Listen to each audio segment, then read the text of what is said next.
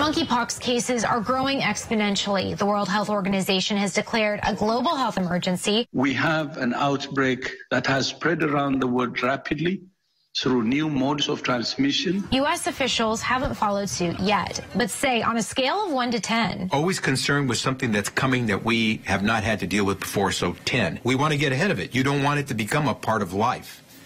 But how many people have died compared to, say, COVID?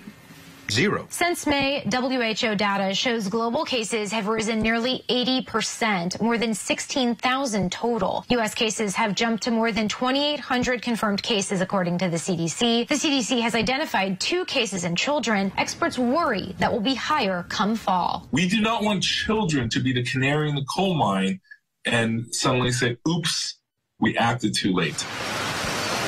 In California, monkeypox is consistently showing up in Bay Area wastewater, a sign the infectious virus is spreading at the community level. Cases continue to climb, especially in some of California's larger cities.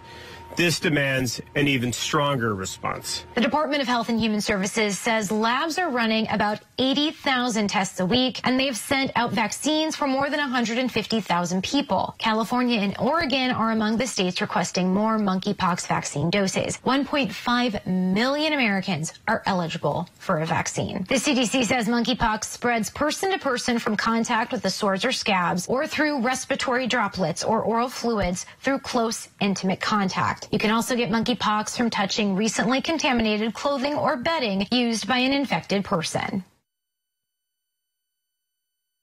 So a lot to watch for there. Important to note too, I've gotten this question a lot today with why the U.S. might be lagging behind the World Health Organization in declaring any type of public health emergency.